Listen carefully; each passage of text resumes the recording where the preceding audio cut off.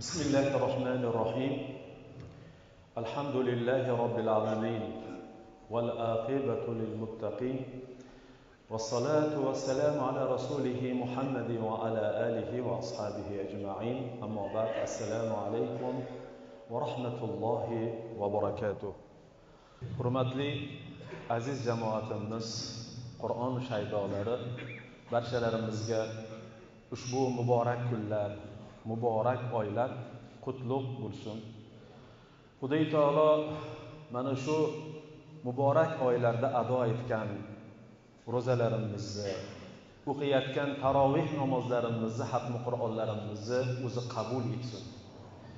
Azizlar bu yilgi hatmi qur'on ramazon avvalgi yillardagi ramazondan tubdan farq qildiki mana barchangiz guvoh bo'lib turibsizlar mustaqillikdan keyin bundan oldin ham keyin ham biz ko'rmaganmizki yigirma yetti kunlik yigirma yetti kunda alloh taoloni kalomini masjidlarda hatmona qilishlikni. Alhamdulillah mana muftiy hazratni tashabbuslari bilan bu yil yigirma yetti kunlik bu viloyatimizda bir yuz to'qsonta masjid faoliyat ko'rsatayotgan bo'lsa bir yuz yetmish to'rttasida u poppa yo uchqo'rg'onni eng chekka qishlog'ida ham xuddi sizlarni hatmonini kabi boshidan oxirigacha tartib bilan har har kunlik tartib bilan ado etilyapti.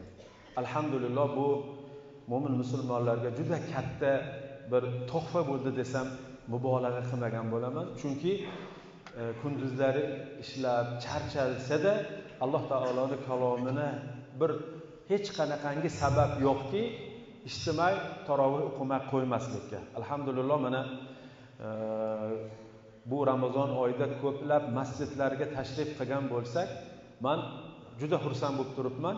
Bu masjidni qavmini ixlosini e'tiqodini xonaqa to'la turibdi. Mana bundan oldin bir ikkita masjidlarga bordik lekin yarim. Lekin bu qavmning qur'onga bo'lgan ixlosi qur'onga bo'lgan muhabbatini sharofatidan alloh subhanahu va taolo mana ham masjid go'zal bir tarzda bo'lib qoldi va alloh taoloni fayzi futuhi barakoti kirdi. Inshaalloh xudo xohlasa ertaga butun respublikada bir yarim mingdan masjidlarda taroveh namozida qur'onni hatmonasini qilinadi. Ya'ni laylatil qadr kechasiga to'g'irladi buni e, muftiy hazrat o'zlari ham kecha andijon viloyatiga tashrif qilgan paytlarida aytdilarki meni shu yigirma yettinchi kechada e, yigirma yetti kunlik hatmi qur'onni qilishligimning boisi million million odam o'sha kunida qo'lini ochib duo qilsa inshaalloh duosi ijobat bo'ladi.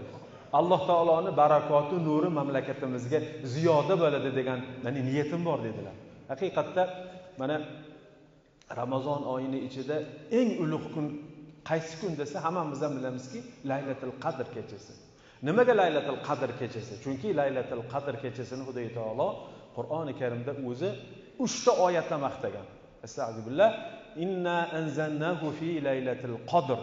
Ya'ni biz qur'oni karimni laylatil qadr kechasida nozil qildik. Inna anzalnahu fi laylatin mubaraka. Boshqa oyatda esa barakotli kechada qur'oni karimni nozil qildik.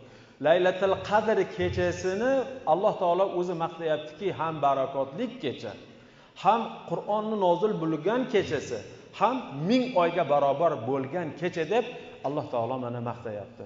Mana shu oyatni o'zida ulamolarimiz uch xil qavl berishgan ekan. Ba'zi bir ulamolarimiz aytishgan ekanki laylatil qadr kechasida alloh taolo o'sha qur'oni karimni boshlanishi laylatil qadr kechasidan bo'lgan degan ulamolarni o'sha qarashlari ham bor ekan. Bir ulamolar aytishgan ekanki yo'q yigirma uch yil mobaynida bir yilda nozil bo'ladigan oyatlarni har laylatil qadr kechasida xudoy taolo nozil qilgan keyin uni hodisalar savollarga qarab turib oyatlarni sekin sekin qavmga ana mo'min musulmonlarga yetkazilgan. Uchinchi qavl bu qavl. Eng jumhur ulamolarni qavllari ekanki laylatil qadr kechasida lavhul mahfuzdan samoviy osmonga nozil qildi. Ana samoviy osmondan yigirma yetti yil mobaynida hodisot voqeotlarga qarab turib alloh taoloni kalomi nozil bo'ldi deyishadi. Savol bo'lgan ekan. Nimaga alloh taolo birdaniga o'sha lavhul mahfuzdan yer yuziga tushirib qo'ya qolmadi deyilsa bunga ham ulamolar javob qilishgan ekanki qur'oni karimni sha'ni va qur'oni karim nozil bo'lgan ummatning sha'nini alloh taolo farishtalarga bildirib qo'yishlik uchun osmonga bir marta nozil qilgan ho'y farishtalar bilib qo'yingki meni mana shu oxirgi payg'ambarimni ummati bor mana shu ummatiga nozil qilinadigan qur'on mana shu qur'on deb xudo taolo farishtalarga bildirib qo'ygan ekan. Alhamdulillah mana shu kunga inshaalloh ertaga barchamiz musharraf bo'lamiz yetishamiz. Alloh taolo barchalarimizga ushbu kunlarni muborak etsin.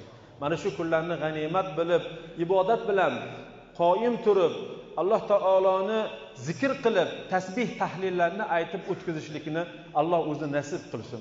Chunki mana kechami avval kuni qur'oni karimni hatmonasini qilar ekanmiz deb taraddud ko'rib o'tirgan edik lekin mana birpasda keldi yigirma yettinchi ertaga hatmi qur'on mana tugaydi. Yana bu fayzni hech kim hech qayerdan topa olmaydi.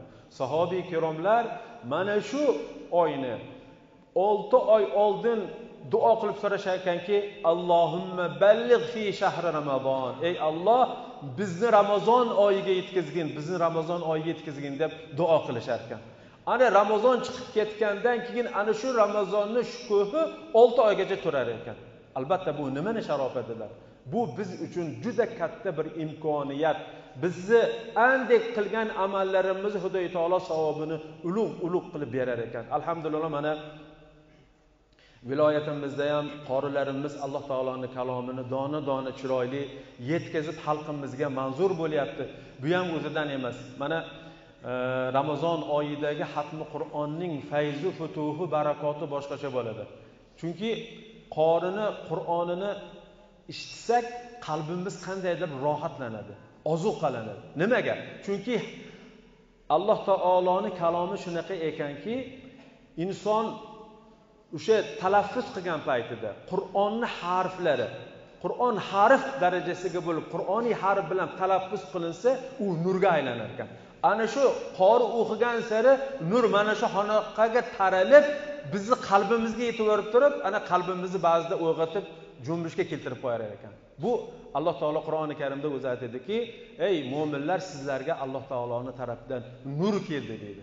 Qorinni tilovati inshaalloh qalbimizga nur badanimizga shifo yo'limizga hidoyat bo'ladi. Bu kalomullohni bizgacha yetib kelgan paytigacha biror bir kalima biror bir nuqtasi o'zgarmadiki mana e, kitoblarda aytiladi hazrati ali karramalloh vajhani davrlarida bir voqea bo'lgan ekan. Voqea shunaqa ekanki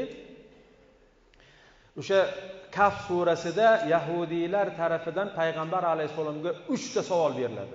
O'sha uchtadan bittasi hizr alayhissalom bilan muso alayhissalomni o'rtalaridagi bo'lgan voqeani so'rashadi. Shu voqeada e, u voqea juda uzun. Э, keraklik o'sha biz aytadigan joyiga to'xtalib o'tadigan bo'lsak muso alayhissalom bilan hizr alayhissalom bir qishloqqa kiradilar. O'sha qishloqqa kirib turib shu yerda mehmondorchilik qilib berishligini so'radilar. Lekin ular haydab quvib chiqarib yuboradi. Endi mana shu qishloqni payg'ambar alayhissalom davrlarida qaysi qishloq ekanligi qayda ekanligi hammasini batafsil aytib o'tgan ekanlar.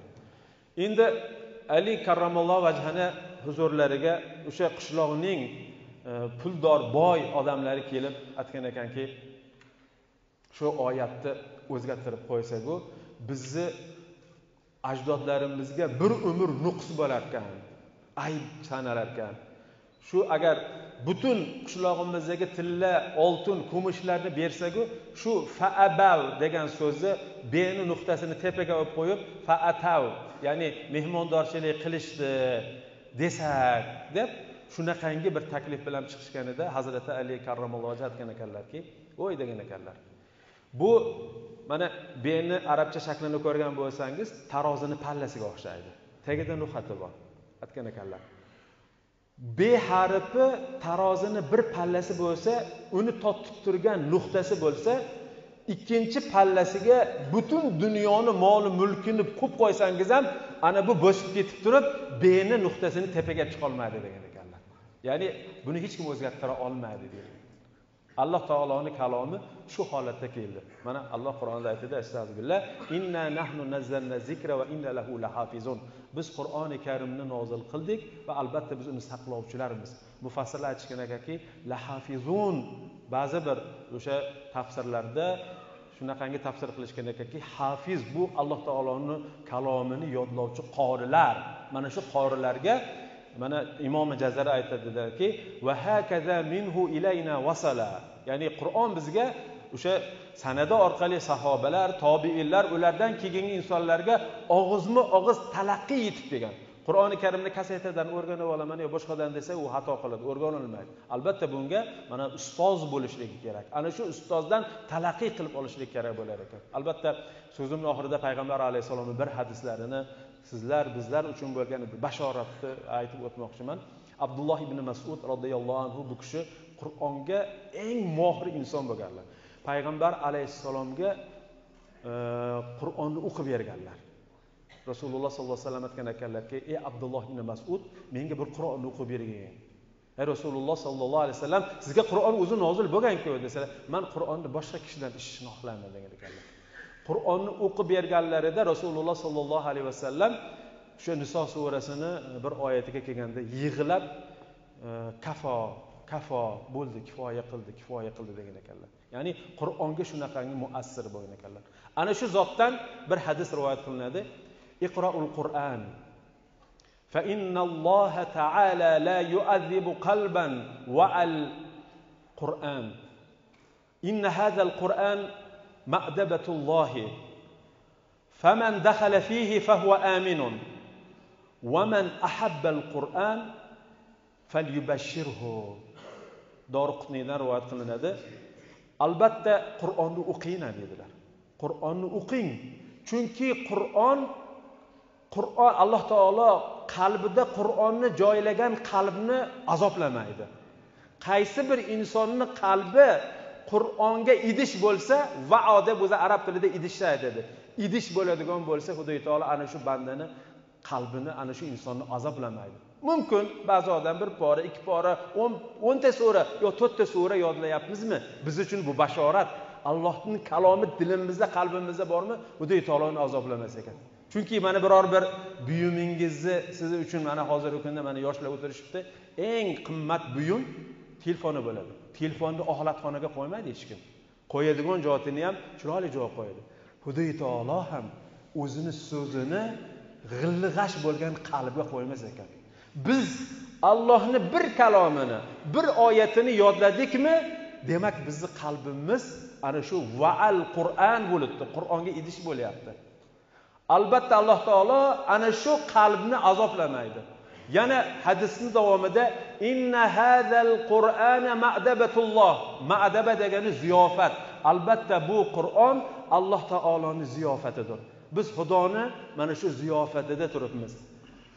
Faman dakhala fihi fahuva aminun.